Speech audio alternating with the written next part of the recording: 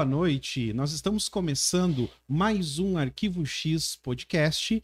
Nesta noite de quinta-feira, eu sou Cristiano Kaller, no nosso som aqui, Rodrigo Oliveira, e nesta noite eu tenho um convidado para lá de especial, né? Foi meu colega, amigo, é, o professor Daniel Rocha. Boa noite, Daniel. Boa noite, professor Cristiano. Boa noite ao Rodrigo na técnica e a todos os telespectadores aí que vão assistir na, no decorrer nesse vídeo. Para mim é motivo de alegria estar tá aí compartilhando, né? Um pouquinho do conhecimento que a gente tem, né? Embora permita te chamar de colega, né? Porque a gente trabalhou um tempo junto, né? O professor Cristiano foi parceiro sempre aí.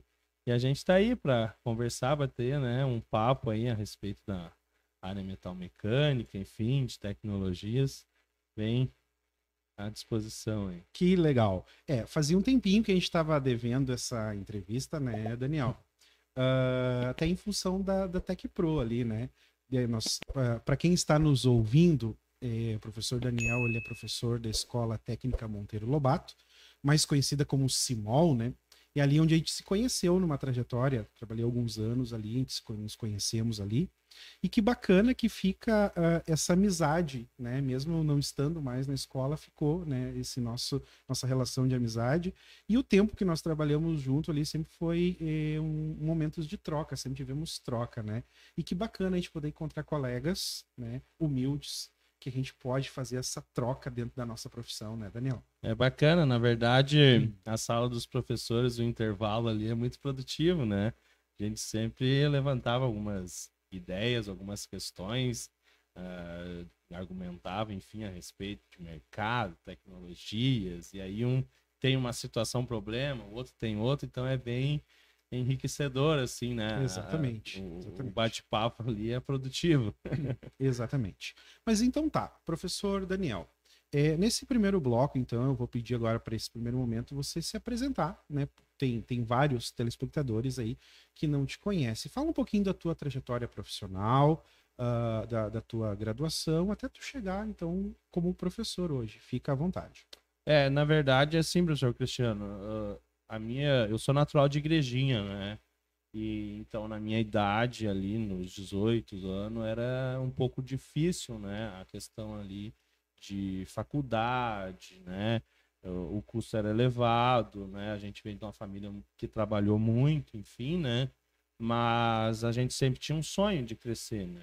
Então a primeira oportunidade que eu tive assim de, de curso, de me aperfeiçoar, foi na, na época, ali, aos 16 anos, com um curso no Senai, né? Que ele era basicamente um técnico em calçado, né? A gente fazia, inclusive, uma parte dele dentro da, da Picadilly. E aí, então, com 18 anos, eu fui trabalhar na, na indústria, na calçadista, e teve um período ali, enfim, acabei uh, subindo os degraus, né? Comecei como na produção, enfim, fui para auxiliar e depois comecei a gerenciar um setor ali, nós tínhamos em torno de uns 30 funcionários, né? E foi um período de bastante experiência, embora eu seja, eu era muito novo ainda, né? Mas já conseguia, baseado, né, por esse treinamento que a gente teve esse intensivo lá dentro da Picadilly, né? Conseguia gerenciar um setor, né? Então, mas assim, sempre tinha aquele sentimento de fazer alguma coisa a mais, né? E aí surgiu a oportunidade, eu tinha alguns colegas, eu estava terminando o, o, segundo grau, tinha uns colegas que iriam vir para o CIMOL, né? Tinha uma professora que incentivava. E eu acabei né, me inscrevendo para a prova, passei e fui cursar então técnico em mecânica, né? Aí começa a minha relação com a área, enfim, diretamente, né? Aí eu fiz o técnico em mecânica depois de fazer estágio numa empresa em Sapiranga, né? Tero, né? Uma metalúrgica muito uhum. conceituada, bem conhecida, né? Conhecida na região também. Né? Isso, e aí lá eu tive a oportunidade, né? Eu fui fazer estágio na parte de matrizaria, mas acabei entrando numa seleção interna na área de programação de máquina CNC, né? Daí quando eu fui fazer, inclusive a minha turma no Simol era uma turma muito dinâmica, assim, né? A gente conseguia, era muito enturmado, né? A gente chegou a propor para a direção na época para fazer um curso aos sábados, né? Então, um grupo de 8, 10 colegas, a gente fez um intensivo ali me parece que foi 120 horas, né? Sábado o dia todo, né? Olha só. né? E na área de CNC, né? Então a gente fez praticamente uma especialização. E como eu já trabalhava na área e também fui fazer treinamentos né, em outras instituições, Senai, teve a- a- na, na parte de ferramental, na Sindivic, enfim. Ah, quando surgiu uma oportunidade na escola, eles acabaram me convidando, né? Eu acredito que também auxiliei um pouco o professor na, na época nesse treinamento, né? E aí, então, eu começo a minha trajetória, então, como professor no Simol, né? Comecei, né, né, no primeiro degrau, era uma noite por semana, uma oportunidade, enfim, faltou professor para essa especialidade, né? E aí, depois fui, né, duas, quatro, depois, não, quem sabe não vem uma manhã, uma tarde. E paralelo a isso, aí eu já, né, eu já fazia faculdade, enfim, né, eu acabei me formando em sistemas, né, mas me especializei depois, né, em automação e controle, enfim, e assim, aproveitei as oportunidades que foram surgindo, né, acho que esse é o grande foco. Sim, sim. Muito legal. É, na verdade, ah, Daniel, tu coloca, tu colocas assim, ó, bem a realidade eh, do trabalhador brasileiro de base, aquele que começa, que começa de baixo, né? Comigo não foi diferente, não foi nem um pouco diferente, né? A gente vem de, de família humilde, né? Ah, sem muitos recursos. Então, quando tu, tu se insere já no mercado de trabalho muito novo, ah, e na, na indústria, né? E aí, todas as oportunidades que surgem, você se agarra nelas. Verdade. Todos os cursos possíveis, você, É, tá você, você vai se agarrando nelas. Tu sabe que, para mim, é, o que, que eu acho, o que, que é legal do nosso bate-papo de hoje, tá? Ah, falar da área metal mecânica, para mim, é muito legal. Porque eu sou um egresso de Senai, né? Então eu fiz na, naquele período aquelas modalidades de Senai que eram 3 mil horas de curso. Tá? Você entrava com 14 anos e saía com 17 anos e meio do curso, né? Então até tá aqui no nosso cenário nesta noite, tá? É, algumas das peças que nós fabricamos lá no Senai, né? Tu conhece, tu conhece esse cara aqui, professor Daniel? Mas vá. Conhece? Esse aqui é um, é um graminho, né? Para o pessoal aí que está nos escutando. Na verdade, ele é multifuncional, né? Ele é um graminho, ele é um traçador de altura e ele é um suporta micrômetro. Isso aqui a gente fez ah, no Senai, isso lá em 1993 ainda. Ah, detalhe, professor Daniel, tudo na Lima. Lembra? Aquela Ah. prática de Lima, Sim. Lima Mursa, Lima Bastarda, né? O pessoal que é da metal mecânica já vai entender a nossa linguagem aqui. E essa segunda peça aqui, um porta porta lápis, porta caneta, né? Nós também fizemos com pantógrafo, né?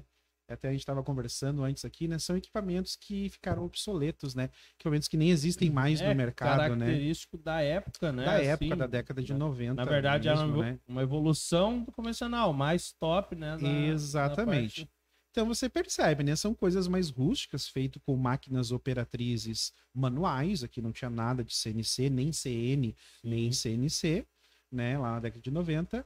E hoje é a diferença, né? O professor Daniel já chegou, nos, nos deu esse presente aqui, que vai ficar na nossa decoração. Esse cachorrinho aqui, foca aqui para nós, Rodrigo, ó. Esse cachorrinho aqui, ó, todo feito no 3D, É? Só no preto, na né? impressora 3D. Olha o ponto, o ponto que nós chegamos de evolução em tecnologia, né? É fascinante. Tem esse outro modelinho aqui que ele trouxe, esse aqui é o, é o xodó, Xodó. é o xodó do Ah, professor tá. Daniel. Eu disse, esse vai ficar para nós também. Ele disse, não, Ah, esse é. não. Olha aqui, Rodrigo, foca aqui. Isso aqui é a parte interna, né, de um motor de carro, né? Onde nós É um temos os- motor os- V8, os- né? Um, os- é um protótipo, né? Isso, os, os pistões aqui, né? Fun- e funcional, né? É, ele gira, aham. Olha só, gente, funcional. Olha só. Que bacana isso aqui, ó.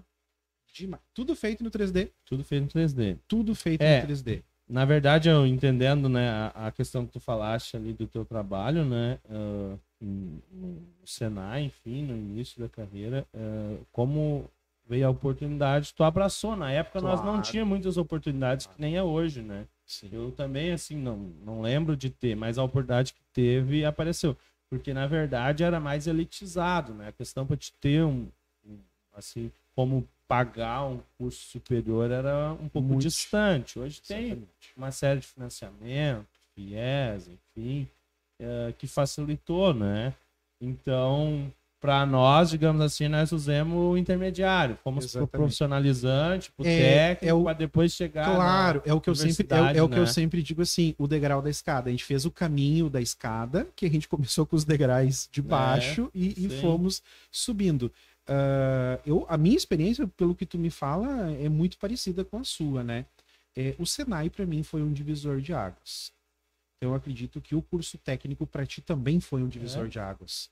a a oportunidade, as portas que se abriram foram tudo através, né, Da formação desse técnica. primeiro degrau no técnico, né? Claro, eu poderia ter seguido na área do, do calçado, porque, né, eu tive uma oportunidade boa na época também, né, mas em função do, do curso que eu fiz no Senai.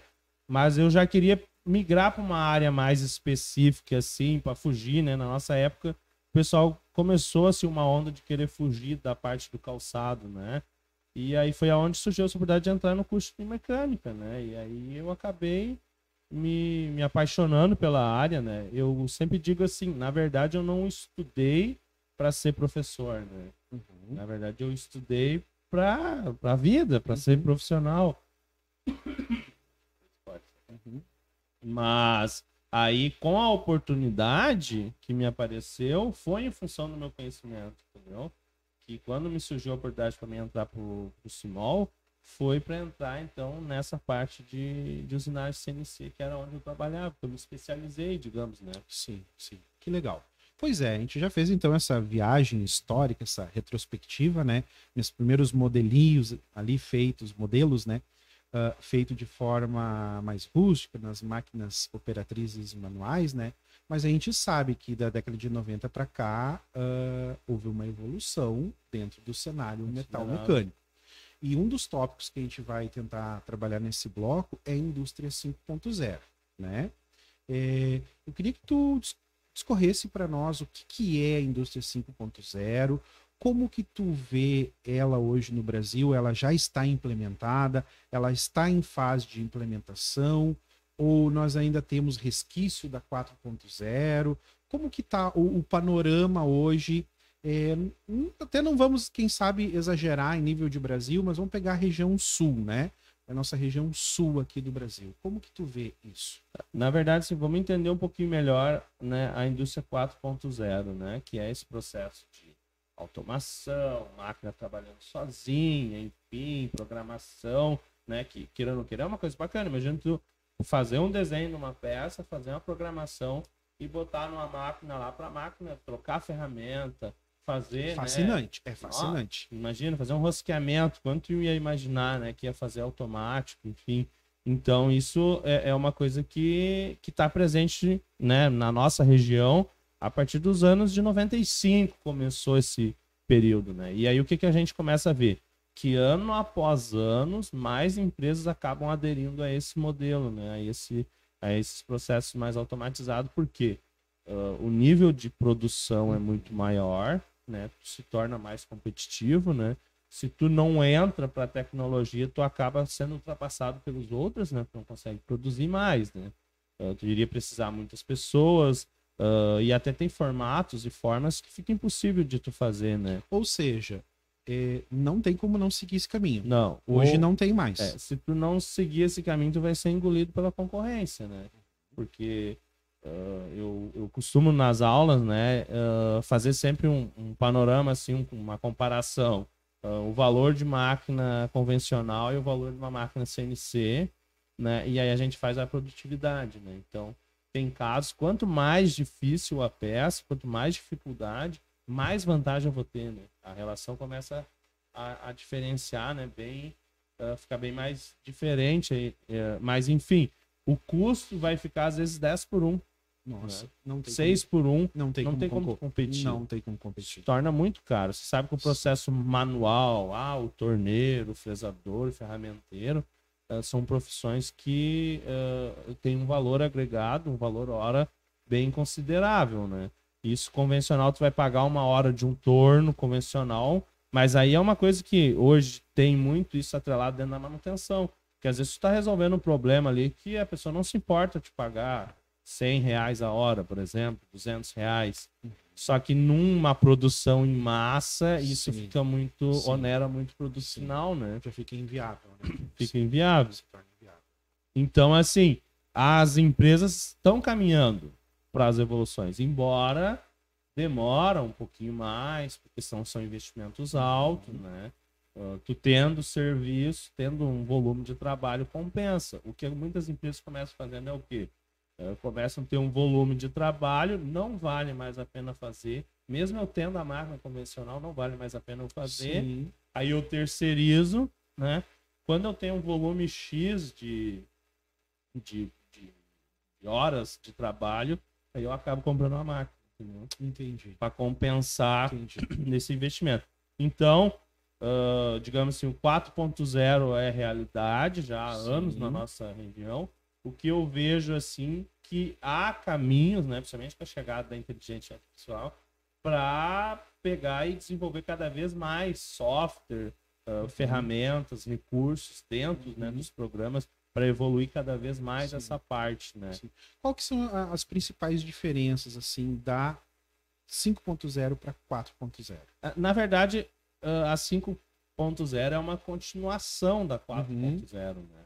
A 4.0 é essa questão automatizada de processo, de máquina, Uhum. muito envolvendo a questão, né, do computador, do software para auxiliar, né, na resolução dos problemas, mas tipo muito centrado até mesmo ao, Ao operador- ao ao operador. programador ali, Entendi. né? Que ele def- decide, né, as questões. Entendi. Já a 5.0 já é mais imediata, digamos assim. Já é as relações, tipo, digamos assim, cada vez mais o software auxiliando, né, Entendi. o profissional. É bem né? aquela pegada de inteligência artificial. Isso, é uma é, mistura. a inteligência da das 4.0 coisas. Isso. É nesse Da sentido. 4.0 com a, a inteligência das coisas, né? Aham. A gente sempre usa um exemplo assim, por exemplo, ah, o- até onde vai chegar a tecnologia, né? Tu pode Sim. ver hoje o assunto de carro elétricos aí tá é assustador, é dia após dia Sim. dobrando os conteúdos e os lançamentos, né? Sim. Parece que é uma realidade bem distante, mas eu acho que isso vai ser muito incorporado. Por exemplo, ah, as manutenções, a partir do momento que tu olha o- os carros desses, principalmente desses elétricos, eles são uma nave, né? Tipo, Sim. É, é uma Tecnologia, tecnologia embarcada. Isso, aí é, é os aplicativos, mapa, e aí manutenção, tudo mais intuitivo, entendeu? Não espera, ele te avisa, né, quando precisa fazer. E, e nas questões das relações domésticas, por exemplo, a gente sempre vê assim. Eu acho que vai chegar ao ponto que, por exemplo, tu vai ter uma geladeira lá na tua casa, tu vai ter um estoque lá de produtos e conforme vai diminuindo aquele estoque, ela vai disparar uma ordem de compra, entendeu? Entendi. Então é, é- é essa Sim. Isso seria a inteligência das coisas. inteligência das coisas, Perfeito, entendeu? perfeito. É, é, é um, digamos assim, é uma série de, de questões que vão te cercando que visam, na verdade, a facilitar a rotina, né? Então, assim, ele vai pensando por ti, digamos, né? Perfeito. Joia, joia. A gente encerra esse bloco aqui. No próximo bloco, então, a gente volta, eh, quem sabe, dando mais uma pinceladinha sobre esse assunto.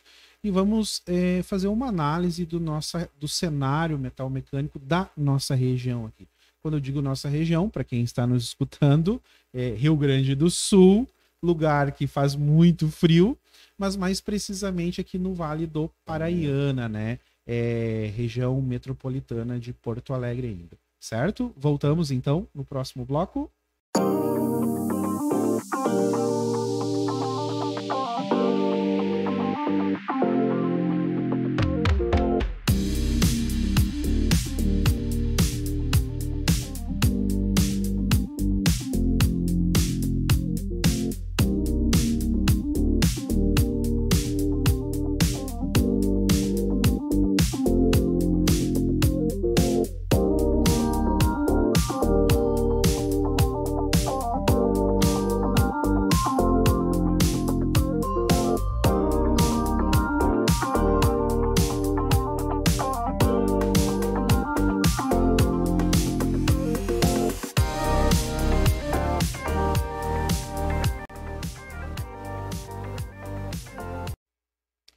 Nós voltamos com esse segundo bloco. Eu estou aqui com o meu convidado especial, professor Daniel Rocha, ele que é professor das disciplinas técnicas, né, da nossa escola CIMOL. É, CIMOL é o abreviação, né, mas é a Escola Técnica Monteiro Lobato. Só que a gente fala Monteiro Lobato, ninguém sabe onde é que é. Quando se fala CIMOL, ah, tá, sei, sei onde fica. Na nossa cidade vizinha aqui de Parobé, a cidade de Taquara, né, Daniel? Então, nós estávamos falando no primeiro bloco ali um pouquinho sobre a indústria 5.0, né? Uh, e aí tu, tu introduziu para nós dizendo que, pelo que eu entendi, ainda não está bem implementado, pelo menos na nossa região, né? Nós ainda estamos na 4.0, em alguns casos já migrando para 5.0. Mas o fato é que todos vão, todos vão pegar esse caminho, isso, isso é fato, né? Uh, agora, para a gente analisar o nosso cenário metal mecânico da nossa região aqui, o Vale do Paranhana, em torno aqui do Vale do Paranhana. Tu até tem mais propriedade para falar sobre isso. Como é que é o cenário metal mecânico na nossa região? O que, que tem mais? Centro de usinagem, torno, fresa? Como que tu, que tu vê isso? É, então, assim, né, continuando nessa abordagem, eu vejo que esse é um assunto hoje, né, de, de governos, enfim, né, tu olha na, na Europa, enfim, muito falando sobre 5.0, mas na verdade a realidade quando vai bater na nossa porta, ela demora um pouquinho mais, né. Eu vejo que nós estamos na 4.0 arranhando, assim, né, com algumas dificuldades, enfim, hoje uh, uma das grandes dificuldades desse mercado também evoluir mais é a falta de treinamento. Tem várias empresas... Mão, seria mão de obra capacitada. Isso eu tenho várias empresas que eu tenho contato, enfim, algumas empresas que eu atendo também, que me solicitam se eu não tenho alguém para indicar, né? Tipo, uh, e não tem, porque na verdade regional aqui a gente não tem um treinamento específico, né? Hoje uh, eu tive em Caxias numa escola lá uh, particular, né, de cursos profissionalizantes, eles comentaram que, por exemplo, lá o Senai tinha três unidades, fechou uma, né? O, aqui na nossa região, em Sapiranga, tinha cursos né, na área de usinagem CNC. Eles acabaram, uh, as marcas acabaram indo a leilão até, porque elas já estavam ultrapassadas, né? Uhum. Então aqui Canela fechou também, né, a parte do curso de mecânica. Então, uh, na verdade, a gente tem o Simol, né? O Simol na região é se tornou a referência, tornou né? referência né? Porque a não ser o Simol, tu vai ter Gravataí e São Leopoldo. Sim. Né? Na verdade, assim, a nossa região aqui do Vale do Paraiana, como ela, o calçado está enraizado na predominou, nossa, né? predominou na região, então, na verdade, o metal mecânico não, né? Ele não. Ele arranha, digamos, nas bordas aí, né? Ele é mais assim na, nas manutenções, é, né? É... Você tem um equipamento para calçado que precisa de uma é, manutenção. É, a, a questão de produção de máquinas para a indústria calçadista, né? Novo Hamburgo é muito forte nisso, Exatamente. né? Exatamente. E, na verdade, o forte da questão de, de usinagem na nossa região é a produção de matrizes, né?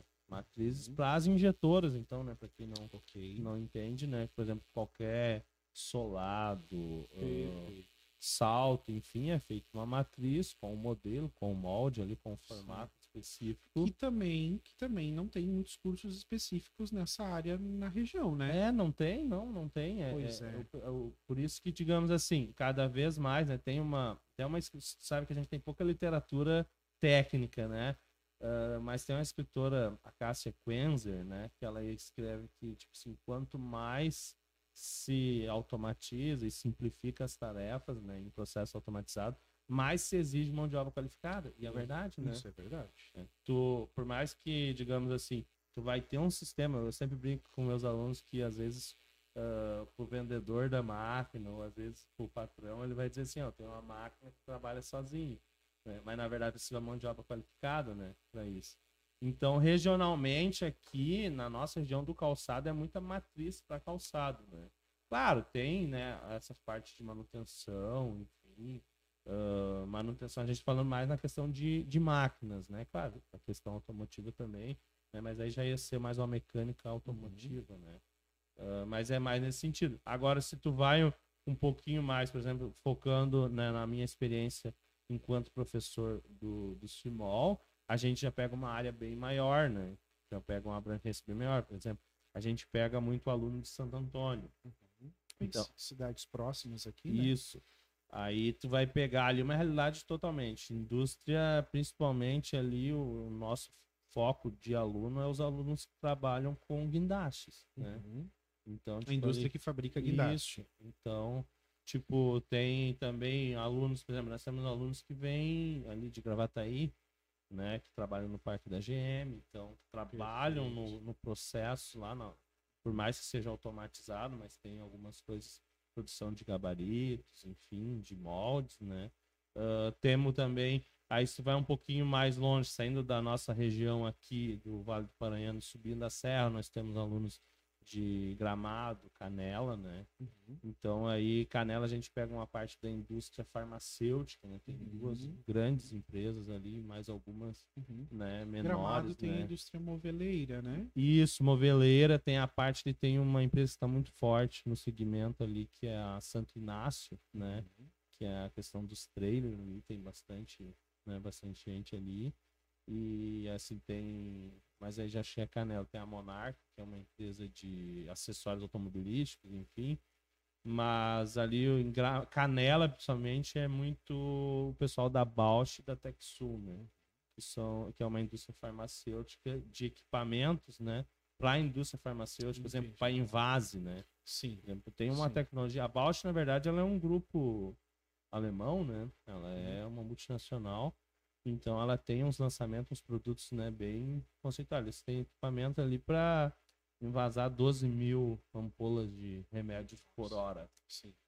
Então, que legal isso. já é né? um pouco bem fora da nossa da nossa realidade, né? A gente pega Uhum. quase três, eh, por mais que seja muito próximo, né? A gente pega a gente, quase que quatro cenários, né? Uhum. O pessoal mais de Santo Antônio ali, essa parte de, eh, de enfim, né? Plataformas elevadas também. Uhum.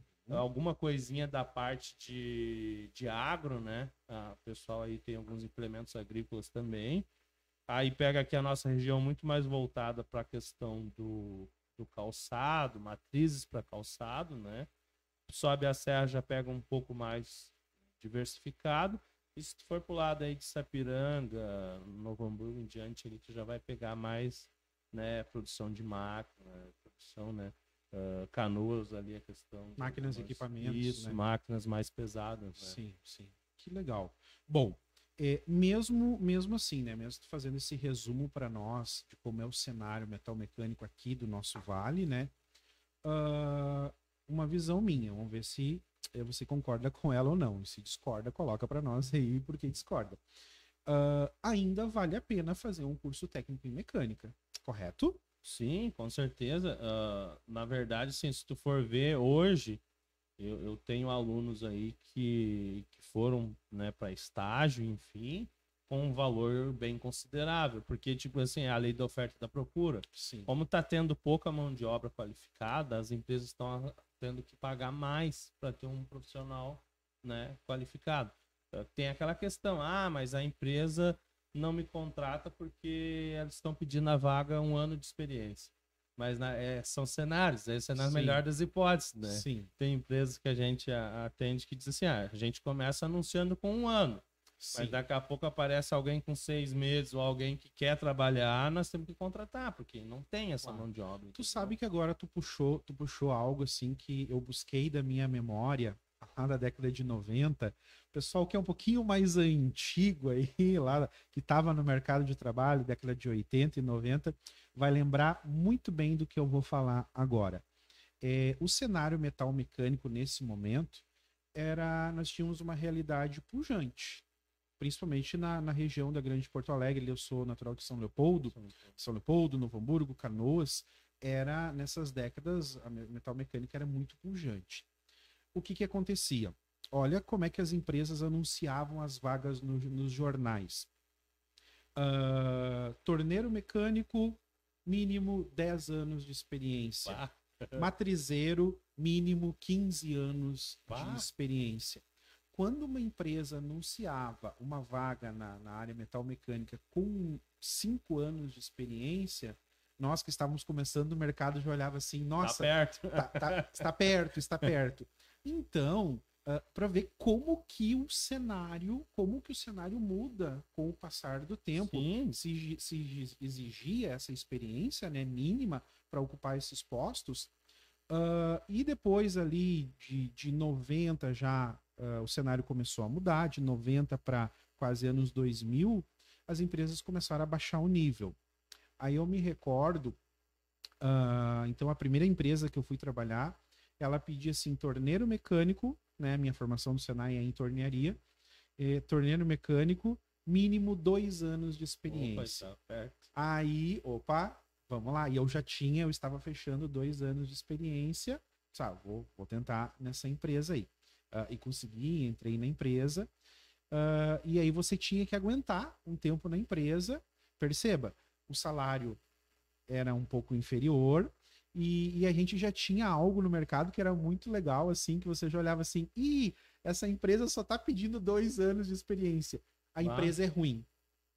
Porque a maioria das empresas pedia mínimo cinco anos. Aquela que anunciava dois anos de experiência já ficava marcada como uma empresa ruim. E diga-se de passagem que geralmente as empresas eram ruins mesmo. Ninguém gostava de trabalhar, de permanecer na empresa. Então você vê como que o cenário, como que o cenário é, mudou. Não, mudou to totalmente, porque na verdade hoje uh, eu sempre falo com, com o pessoal, principalmente para os alunos, que praticamente a gente tem que ter pelo menos três estágios na, na vida profissional. Né? A, a empresa vai contratar um aprendiz qualquer, ela vai oportunizar né, o, o, o funcionário ali para aprender, mas em troca disso ela também está pagando pouco menos, o cara está aprendendo, não tem como arrancar, né? Perfeito. Por cima. Aí, num segundo momento, o cara aprendeu a trabalhar. Tem empresas que tem plano de carreira, né? Que dá oportunidade para o cara crescer dentro. Eu acho que isso é bacana. Nós temos algumas empresas assim que uh, sempre estão contratando alunos nossos, né? E os alunos nossos já são uh, supervisores, entendeu? Eles já cresceram, já, já controlam setores dentro da, da empresa. Isso é bacana, porque daí tu, ele já, te, já conhece a linguagem do aluno que vem claro, lá do, do Small, né? claro. né? Mas assim, uh, na verdade, o primeiro estágio, então, o aprendiz, o segundo estágio, a empresa vai contratar alguém que já tem aquela experiência. Porque, digamos assim, tá pegando fogo lá, ela tem que produzir, tem que produzir, o cara tem que entrar produzindo. Ela não tem aquele tempo de espera. Então, no segundo momento, a oportunidade vai ser para pagar um pouco mais, né? De acordo que daí tu tá levando uma bagagem.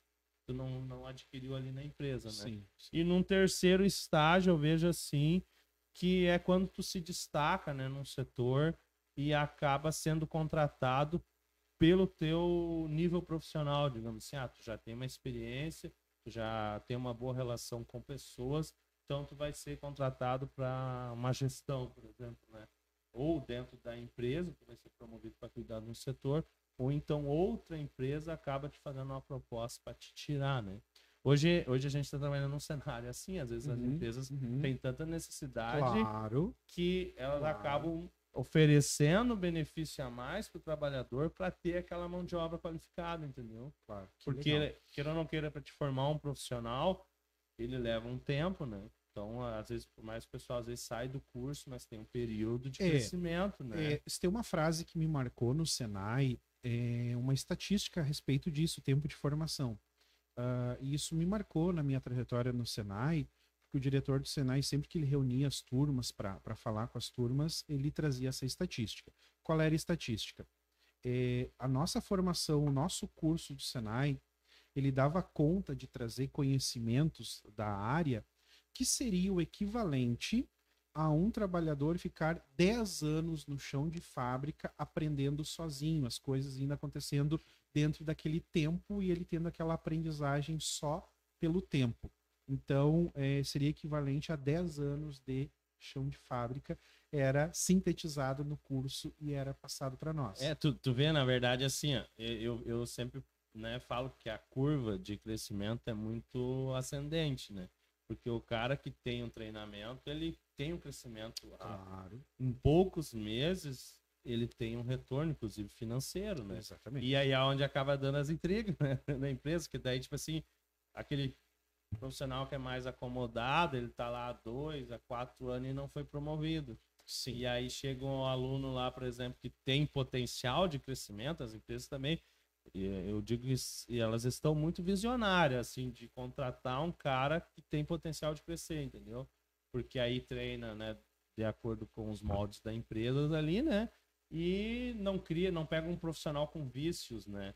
Então, digamos assim, ela é oportunista. Por mais que tenha uma vaga assim de um ano, acaba, digamos, sendo contratado, às vezes, sem experiência. Né? Mas entendi, com entendi. treinamento, porque o retorno que ele vai dar de conhecimento vai ser em poucos meses, ele vai dar mais rendimento do que um, um profissional, às vezes, está um ano dentro da empresa. Né? Então, sempre se pegar dois profissionais, contratar um que não tem treinamento e um que tem né, um, um curso técnico, principalmente, ou um treinamento profissionalizante, ele vai botar os dois correr carreira, vai ser luz, né, de, de diferença, né? Perfeito, que legal. Então a gente encerra mais esse bloco, professor Daniel. Nós voltamos no segundo bloco, nós vamos falar um pouquinho sobre o perfil desses colaboradores, né? É, algumas características do, do, do perfil desses colaboradores para conseguirem se encaixar nesse novo cenário, certo? Certo. Então, já voltamos.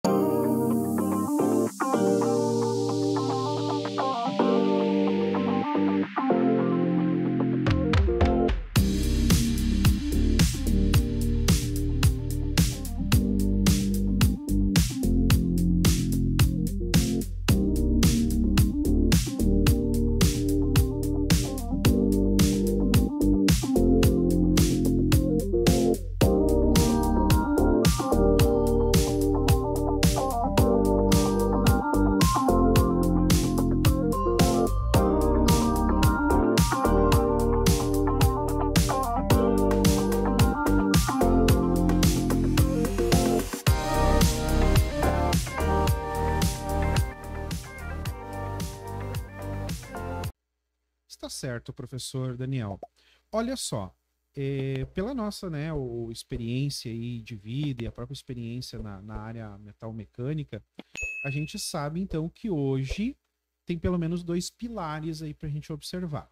Um deles seria realmente a formação, buscar conhecimento, se capacitar para você conseguir se colocar no cenário de, do cenário de mercado. Uh, mas apenas buscar essa capacitação apenas o conhecimento não é o suficiente, né, professor Daniel? Nós temos as questões que, que eu vejo hoje, assim, ó. Uh, eu leio muita matéria sobre empresários colocando algumas queixas a respeito do, da futura geração de, de colaboradores. E uma das principais queixas do ramo né, dos, dos empresários é as relações interpessoais desses colaboradores dentro da empresa né? Todas aquelas questões de ética que tem, né? A, a, ética que você tem que ter, o respeito, as relações mesmo entre colegas, entre colaboradores, uh, eles sentem muita falta, muita necessidade. Até uh, certa feita eu conversei com um empresário que ele me sugeriu isso. Olha, vocês têm que colocar uma disciplina lá no curso de vocês ética de ética profissional. para ver que eles sentem muito essa dificuldade. Uh, como que tu vê isso e o perfil dos colaboradores? Realmente isso faz sentido? É, na verdade, eu acho que para a pessoa ter um crescimento satisfatório dentro de uma empresa, né, são vários fatores. A formação, enfim, o conhecimento é importante, mas o cara tem que ter também, né, a proatividade, tem que ter a pontualidade, né? Porque muitas vezes, se tu for ver, professor, uh, tem empresas aí, por exemplo, que estão com equipamento de um milhão, entendeu? Aí tu vai contratar um profissional que é desleixado, que não, não vai, certo, né? né? que não vai. Na verdade, o cara tem que ter até um pouco de empreendedorismo, porque a, às vezes o, o, o, dono da empresa ou o gestor ali, ele quer números, né? Normal. Ele, Sim. Ele tem todo um giro, né? De, de pagamentos e faturamentos a ser feitos. Então, na verdade, muitas vezes o, o, bom profissional é aquele que acaba se destacando e até auxiliando nesse processo. Porque muitas vezes uma ideia, uma melhoria, um tempo de usinagem, né? Ou um ferramental diferente. Então, aquele cara que corre um pouquinho atrás também, entendeu? Não é mais só aquele cara que. Baixa a cabeça, baixa a cabeça operador. trabalhou, é, que não. Sim que não tem uma boa relação. Um comprometimento. Entendeu? Acho que seria a palavra, né? É... Você precisa se ter um comprometimento com a, com a empresa que É. você trabalha, E né? aí vai muito de pessoa para pessoa, porque às vezes tem a pessoa que tem um baita de um currículo, mas ela não tem essa questão efetiva, né, de pontualidade, né, de ter uma boa convivência com os colegas, né? Às vezes as pessoas são muito resistentes a uma opinião diferente. Sim. Às vezes tem vários caminhos para fazer a mesma coisa, né? Mas ah, às vezes, né, tem uma que vai ser mais vantajosa, então às vezes tu tem que ter a mente um pouco aberta, assim, Sim. sabe? Eu eu vejo que essas questões contribuem para o teu crescimento. Se tu tem uma boa pontualidade, tu é comprometido, tu tá mostrando né, o interesse pela empresa. A saúde financeira da empresa, né, depende de ti. Sim. Então tu tá auxiliando, Sim. né, no É por, é crescimento. por isso que essas relações interpessoais no ambiente de trabalho, elas são importantíssimas, né? Deixa eu te, te dar um exemplo, né? Hoje, ali, depois do, da pandemia, né? Eu acho que depois da pandemia houve um, um processo de aceleração das tecnologias, inclusive para nós professores, né? Eu falava com uma professora alguns dias atrás, que nós entrevistamos aqui, o quanto a gente teve que se reinventar no período de pandemia, né? Com as tecnologias, gravar vídeo, ah, entrar em sala virtual, eh, fazer videoaula, videochamada, videoconferência, é Meet, é Zoom, é trocentos aplicativos que a gente Sim. precisou buscar, né, para fazer isso. Ah, e alguns a gente, mesmo que a pandemia ah, cessou, né, nesse momento, mas a, a pior fase dela, alguns ficaram. Alguns ficaram. Um, um deles, que foi muito importante, é a utilização do Drive. Sim. E o Drive ele é compartilhado, né? Nós usamos no- na escola, nós usamos o Drive ele é compartilhado. Então todo mundo consegue editar. Eu edito alguma coisa da minha casa, você edita alguma coisa da sua casa. Ah, mas isso para nós, assim, bem recente, dos dois, três anos para cá, essa questão do Drive, ah, que também já dá aquela pegada de indústria de 4.0 a 5.0.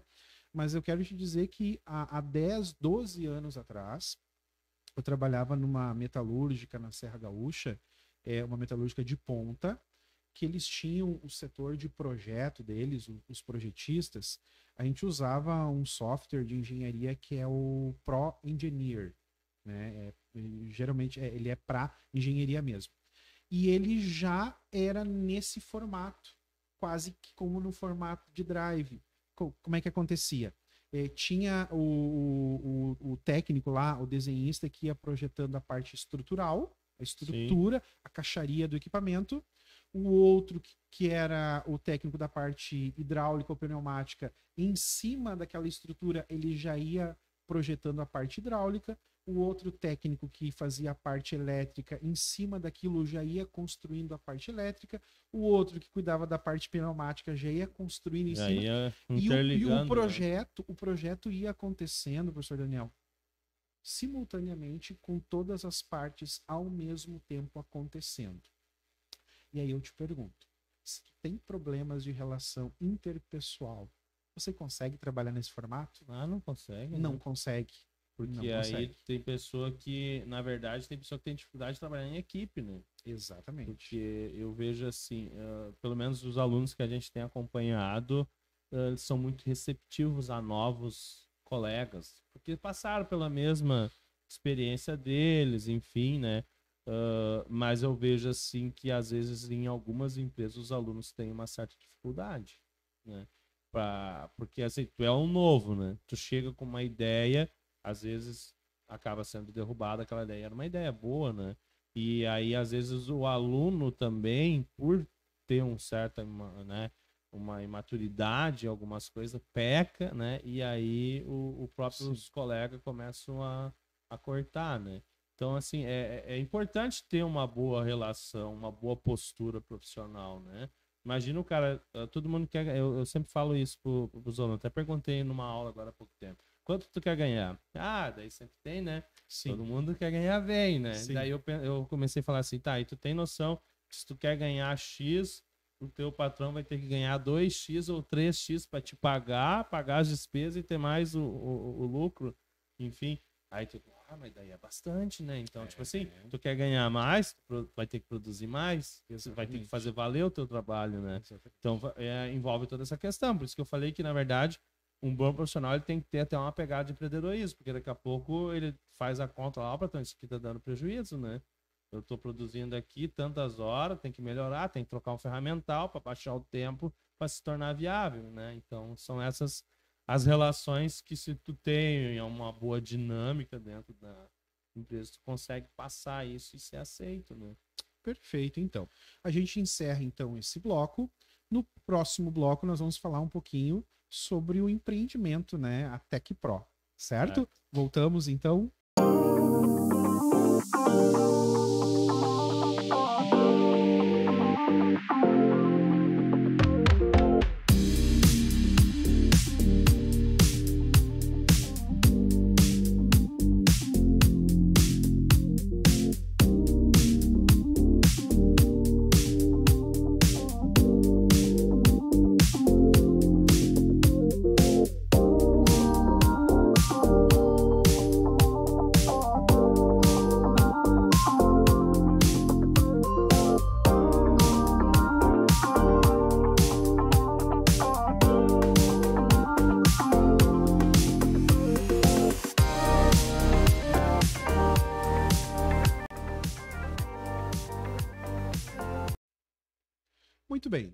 Voltamos aqui no nosso quarto bloco com o professor Daniel.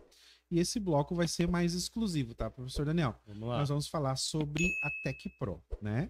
A Tech Pro, nós sabemos que eh, você é um dos sócios e o outro sócio é também nosso. Né? Eu, eu posso dizer ex-colega, mas ele continua sendo seu colega, né? Sócio e colega, o professor Marcos Froza, também do Simol, né? É uma pessoa também que eu tenho um- um- uma grande estima por ele. Ah, eu quero que tu fale um pouquinho sobre a Tech Pro, como que, como que surgiu a ideia desse empreendimento de vocês, tá? É, é, qual a necessidade que vocês sentiram, quando que surgiu a ideia e como é que é a parceria de vocês hoje? É, Então, assim, né, professor? Na verdade, na verdade é quase sequência dos nossos assuntos, né? Porque nós estávamos falando de treinamento, de curso técnico, de dificuldade de mão de obra, de contratação de pessoas qualificadas, né? E a gente percebe hoje, é- é mais notório ainda, né? Que as empresas querem contratar pessoas qualificadas, porém não tem até mesmo, às vezes, o treinamento, né?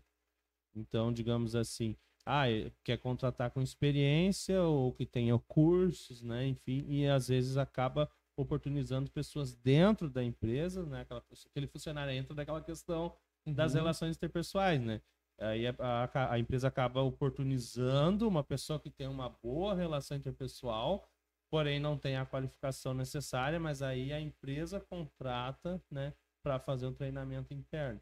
Então, na verdade, ah, tem essa dificuldade de treinamentos, né, de- da mão de obra cada vez mais, né, ah, exigida, né, pelos pelos empresários, enfim, e nós, na verdade, tinha a questão, ficava só no técnico, muitas pessoas ligavam, né, na, na escola, ou então Para ver se tinha um treinamento. isso, alguns ex-alunos, às vezes, ah, professor, lá na empresa estamos precisando de um treinamento interno.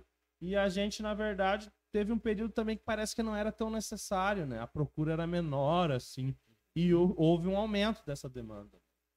Hoje vocês fazem essa assessoria para empresas esse treinamento interno, isso? Isso, isso. é Ah, o ponto tá. que eu quero chegar, que o surgimento da Tech Pro é em função dessas demandas, né? Que chegavam até nós de empresas pedindo um treinamento mais específico, entendeu?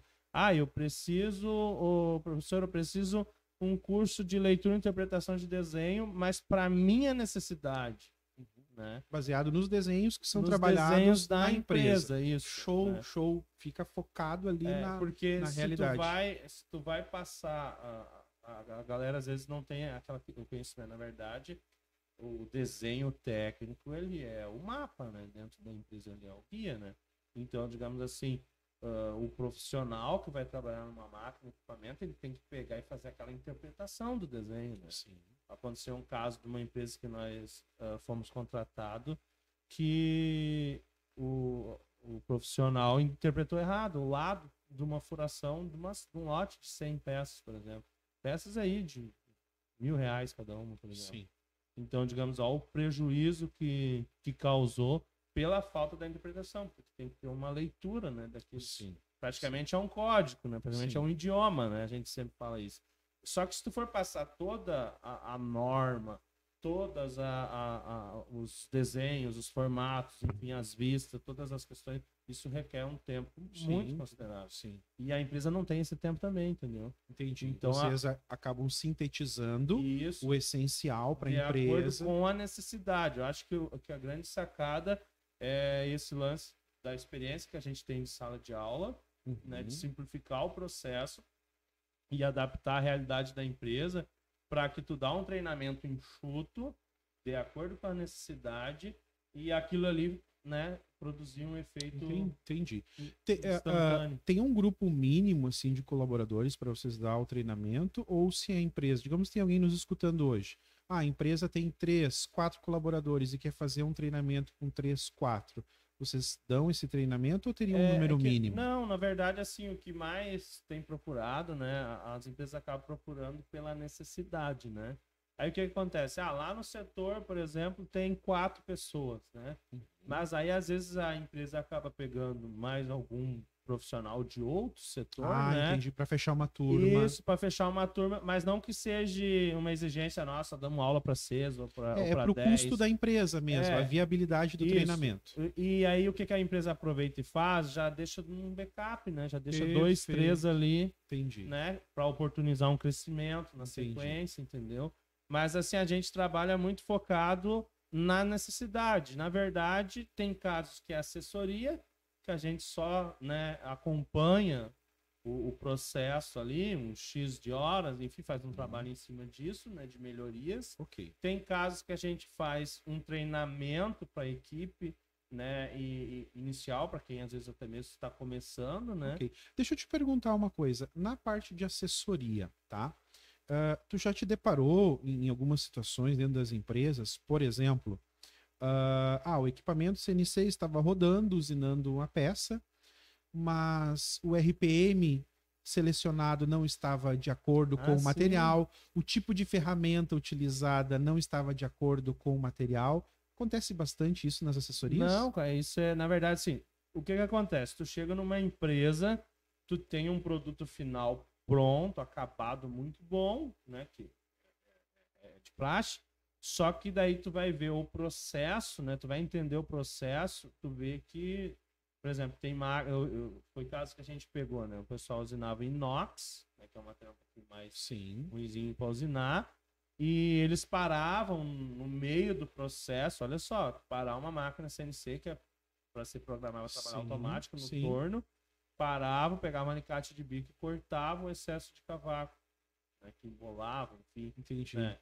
O, a gente estranhou, né? Claro. Sim. Só que a gente sempre dá, digamos assim, nunca chega dizendo. ah, né, a, a gente vem para somar, né? A Sim. gente sempre vai somar, sim. porque às vezes o funcionário pode ficar constrangido, né? Sim, porque, ah, eu sim. faço há anos essa, é, desse jeito e agora chegou. Não, a gente não. Pessoal, nós vamos trabalhar melhorias, Sim. né? Vamos aprender com vocês, vamos trazer E novidades. hoje, hoje, né? hoje tem bastante tem bastante tecnologia de, de ferra- ferramental, né? ferramental, Por exemplo, claro. talvez uma pastilha quebra-cavaco Era isso que eu queria chegar. é, já dava conta do, do É, recado. entendeu? Os- Mas se você não tem o conhecimento, aí, o, aí o funcionário lá da empresa faz isso ali há, há cinco anos. sim, Ele não vai arriscar encomendar uma pastilha, que às vezes uma unidade é 100 reais, 150 reais, para arriscar acertar diferente, até porque ele não enxerga essa diferença, né? Então a gente trabalhou parâmetros. Basicamente a gente trabalha muito parâmetros. Né? Uhum. Isso já entra mais, digamos assim, eu estava falando ali antes, que a gente pega ah, e faz um treinamento inicial para quem está começando, né? Mas a gente também faz um treinamento tipo de gestão de processo. né? Que aí é quem já trabalha há anos, quem já, quem já é profissional da área, e a gente vai abrir, abrir os casos, né? Ah, Sim. aquela peça é difícil de usinar, vamos ver. Aí a gente faz, inclusive, simulações no pé da máquina. Vai lá, vê a teoria, vê o ferramental, vê os parâmetros de corte, né? Velocidade de avanço, rotação, enfim. E vamos lá para a máquina agora fazer um experimento. Aí tu faz uma série de experimentos. Ah, né, de acordo com os cálculos, aí tu sempre tem margem, né? Vai melhorando, vai aumentando e, e foi esse caso foi bem característico assim, que por exemplo, a gente pegou e aumentou inclusive a taxa de remoção de cavaco, né, que eles tiravam em torno de um milímetro por vez, a gente tirou três, que era a capacidade da ferramenta. Sim. Então tu botou mais pressão Sim. de corte, né? Tu é da área Sim. entende um pouquinho. Aumentou o RPM e aumentou o avanço. Então, Sim. digamos assim, e aí o cavaco saía triturado. Entendi. Entendeu? Então, tipo assim. E, e, no final, e no final não, não, não acabou dando até mais produtividade? Não, com certeza, gente. Que daí tu aumentou o avanço, tu aumentou o RPM. E, e, aumentou o passe. Então, digamos Sim. assim. Uh, no final, mais produtividade. De 45 minutos para 15. Entendeu? E assim, não é um caso, ah, porque o pessoal não sabia. Não. É que nem num treinamento até achei interessante, provavelmente um colega nosso aí de Santo Antônio vai, vai olhar o vídeo e vai lembrar. Ele falou, não, professor, entendi. Isso é que nem em Porto Alegre. Eu vou em Porto Alegre. A minha mãe também vai, mas tipo assim, sim. ela tem uma certa dificuldade no trânsito, sim, né? A sim. gente não sabe, mas ela demora, enfim, ele, ele sempre ficou de acordo, né, com a situação. Mas é justamente isso, entre fazer e tu fazer o processo otimizado tem muita diferença, né? Sim. E às vezes o dono da empresa não sabe disso. Sim. Porque ele não, ele não, ele não tem o conhecimento técnico necessário para saber que uma ferramenta e nem, precisa, e nem né? precisa ter. Nem precisa ter. É, e nem precisa ele ter. tem que ter a gestão da empresa sem a máquina e equipamento. Só que aí quando tu vai ver, sempre acaba melhorando. Outro caso, algumas empresas, né, que tinham dificuldade de resolução, né, eles tinham uma espécie de came que era usinado e ele ficava todo uhum. facetado assim, uhum. né? A é uma peça diz de passagem, é uma peça bem difícil de usinar. Difícil de usinar. É, justamente porque ela fica facetada nos, nos níveis dela. Isso. Né? Aí a gente uh, trabalhou com resolução, enfim, melhorias no programa de programação, né? Uhum. Conseguiu né, uh, deixar zerado, né? Deixar um acabamento aceitável, né? Em, em diversas situações, assim. Mas é assim, é aplicar o, o básico, né? com o conhecimento que tu tem de longo, longos anos, assim, né? Em tempo de, casos. Sim, sim, tempo de mercado. E, e isso aí para a empresa acaba tornando vantajoso porque tu treina um profissional que ele vai te ajudar a melhorar os tempos, né? E os tempos de usinagem é o, sim. o valor hora ali, enfim, que vai melhorar para a empresa, né? Legal. É, como é que as empresas entram em contato para vocês? Quer deixar um, um, um, contato? É por telefone, por e-mail? Deixa nos comentários, né? Tá, ok. Depois tu, depois tu passa para nós. O, o, Rodrigo bota no chat, nosso chat ali embaixo. Uh, bota o, o, e-mail, o contato, né? As empresas quiserem fazer o contato com vocês. Mas fora a, essa parte de assessoria, é, vocês têm cursos também, né? É, na verdade a gente se programou, né, ali em 2000 e 19, a gente chegou a ter um espaço né, físico, né? Que a gente dava treinamento, inclusive num período curto de tempo, a gente deu mais de é, mais de 100 alunos passaram. Oh, né? que legal. A gente fez treinamento na parte de impressão 3D, uhum. aí a parte de é, torno. Impressão e... 3D é esse carinha aqui, né? Isso. Todo, todo feito é, na, na máquina. Na verdade, nós trabalhamos já com impressão 3D há oito anos, né? Fomos, uhum. bem pioneiros assim, né, nessa questão na região. E cada vez mais foi surgindo evoluções, né? Procurou trazer esse treinamento presencial, né? Uh, justamente também por demanda, né? Que alguns alunos estavam trabalhando e algumas empresas estavam começando com esse processo, né? E aí eles acabaram, inclusive, né? Uh, dando sequência na empresa depois. E aí na parte de usinagem, programação, a gente trabalhava muito a questão de alguns simuladores de usinagem, uhum. né, que o pessoal conseguia. Então, na verdade, a gente teve esse atendimento antes da pandemia, a gente teve um período ali que a gente atendeu presencial, né, divulgava as turmas, enfim, sempre tinha uhum. uma demanda de, uhum. de alunos. Mas a pandemia mudou um pouquinho isso aí, né? Uhum. Uh, a gente não pôde ficar com espaço, enfim, e né, fechou tudo, né? Aí começou a migrar muito para o online, né? Aí a gente desenvolveu um curso, né? Uh, na verdade, Uh, chegamos a fazer até conteúdos para gravar e fazer outros, mas a gente procurou fazer um curso bem otimizado, bem uh, elaborado, sem ter um tempo considerável, sim, né? Sim. E não foi só ah, um, uma apostila, um vídeo, é. né? A gente fez tu aula diz, mesmo. Né? Sim, tu diz o de 3D. Não, na verdade a gente gravou um de usinagem CNC. Sim. É, o de, online é, o, o de usinagem CNC eu tive acesso, né? A gente até na parceria nós, nós compramos, adquirimos um, né? com aquele preço ah, promocional, né? Que vocês agradeço até, né? Que vocês fizeram pra gente. Uh, e fica a dica aqui, gente. É excelente o curso, gostei. Até não falei, não dei esse feedback pessoalmente, né? Estava para esperando o momento, o momento certo para isso, né? Uh, mas na, na, na, teoria da administração ali, tem duas palavras que a gente usa assim, que é uh, expectativa e realidade, né? como é frustrante quando às vezes a gente tem expectativa de um produto e você quando você acessa a o produto, é outra, a né? entrega é outra, né? No caso do curso da, da Tech Pro, é justamente o contrário, né? Eu, eu tinha uma eu tinha, tinha uma, uma expectativa eu, pelo tinha uma expectativa por conhecer os colegas, por conhecer o know-how dos colegas, mas quando eu vi o produto, é, superou a expectativa.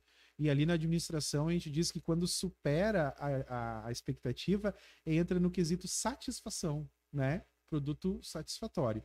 Então, assim, é muito bom, muito didático, né? Tem a parte do professor Froz ali, achei ele muito didático também. Recomendo para quem está entrando.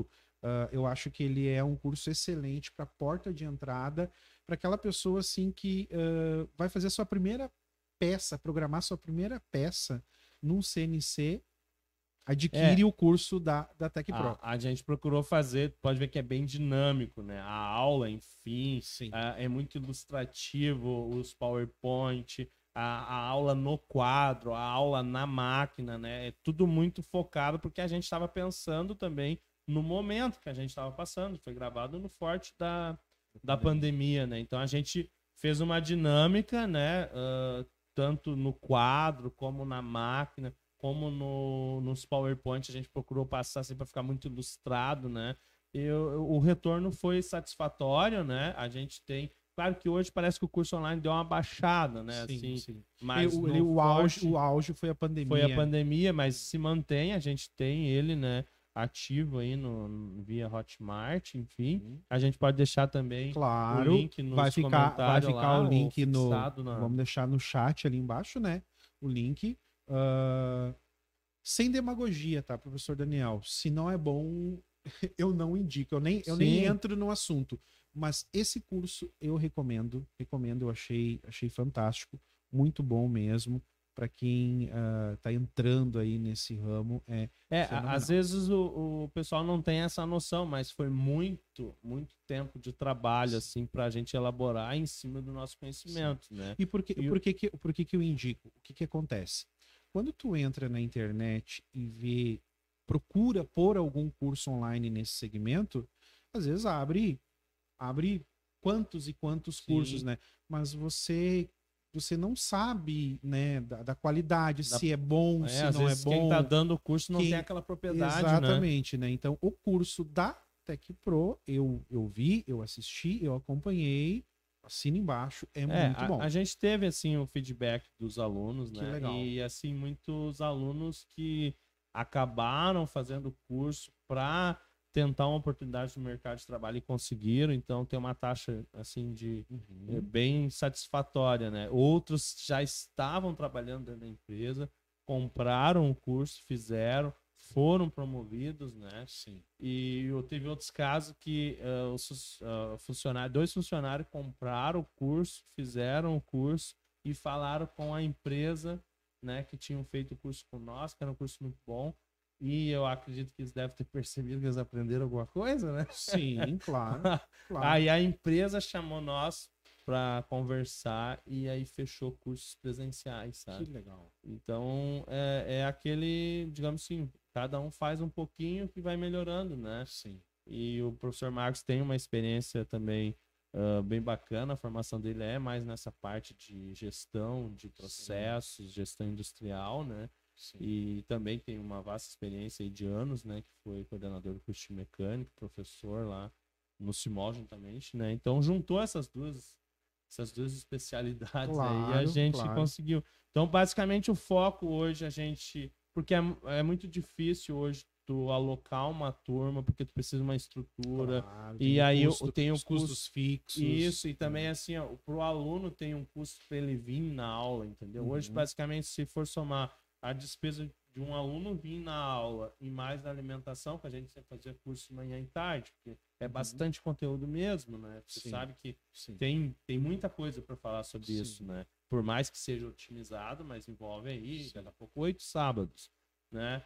Uh, então esse custo às vezes acaba pagando o curso gravado e aí tem a flexibilidade de horários, né? Tu pode acessar a hora que quer, uh, tem um acesso por um, acho que por um período de um ano, uhum. né? Que é liberado, então tu uhum. pode rever a aula, pode Sim. fazer. Então Sim. tem essa flexibilidade. Muito né? legal. E diz uma coisa, é, na impressão 3D, vocês desenvolveram um curso, não desenvolveram ainda, então pensam em desenvolver é, um curso? Na verdade, assim, a gente tem um material, uh, tipo assim, na ponta da agulha, como se diz lá, para fazer um de torno, né? Uh, tem esse de impressão 3D que a gente poderia, tem muita propriedade para falar, né? Só que requer tempo. tempo. Né? E aí o tempo, a gente dando aula, atendendo algumas empresas, Sim. nós não temos, não estamos tendo esse tempo de parar e organizar Sim. toda né, a, a estrutura para gravar, enfim, e requer um investimento também, né? Então a gente não tem, não está tendo esse tempo assim, né?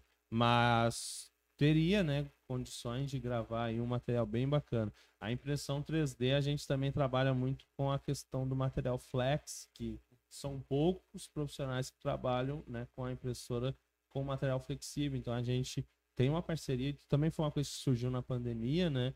Uh, tem uma parceria com uma fisioterapeuta, na verdade são dois fisioterapeutas, né? Que eles uh, fazem atendimento já há anos, enfim, trabalham com as palmilhas ortopédicas, né? Ah, entendi. E aí a gente faz em material flex. Entendi, né? entendi. Então a gente tem muito tempo de Daqui a pouco, é, você diz assim, disso, mais na, na linha, assim, talvez de uma órtese, prótese, talvez daria para desenvolver alguma é, coisa. É, tem, muito, tem um mercado muito amplo em cima disso que a gente não conseguiu também se dedicar, se dedicar. entendeu, a fundo. Mas a gente tem, uh, semanalmente, assim, a gente produz né, as palmilhas para esse. Né, a gente comprou um, um software específico para para essa parte de, de palmilhas, né? Uhum. Então a gente faz através da, da prescrição, né? Ah, Ela faz um exame clínico entendi. com todos a é, elevação do arco, né? A inclinação, uh, às vezes tem muito, muito, muitos uh, pontos na palmilha que visa a tirar o ponto onde está doendo, né? Tu, tu divide, né? Em outros pontos aquela pressão específica que tu tem no pé e aí tu alivia a dor do paciente, né? Então, Entendi. Então, é um mercado que, que tem bastante, né? E a gente não conseguiu, assim, se dedicar ao extremo. A gente, né, atende esses dois profissionais, mas uh, teria condições também, né? Mas enfim, é que é um mercado que bacana, são... muito, é, é, muito constante, sim, sim. muita evolução a todo momento. Sim, a gente se dedica no que a gente faz, a gente se dedica para entregar o melhor mesmo, sabe? Legal. Eu te escutando aqui, eu eu imaginando o cenário do mercado, é verdade. É verdade, né? Uma, uma palmilha anatômica, né? Isso. Com a prescrição do, do, do, do profissional é. ali da saúde, né?